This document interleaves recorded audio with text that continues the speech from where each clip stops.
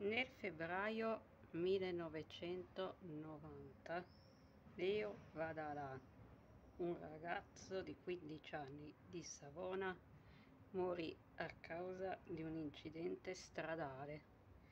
Leo aveva deciso di trascorrere il sabato sera, come era solito fare, in compagnia di amici in un bar di Cadivona. Dopo la serata Leo in sella al suo motorino percorse la statale 29 di Cadivona per fare ritorno a casa a Savona.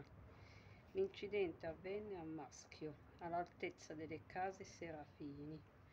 Leo, a bordo della sua moto Garelli 50, si è scontrato con una Fiat guidata da un ragazzo di Pallare. Leo morì sul corpo. A causare l'incidente sarebbe stato o un improvviso malore oppure un colpo di sonno del conducente dell'auto. Una preghiera per Leo.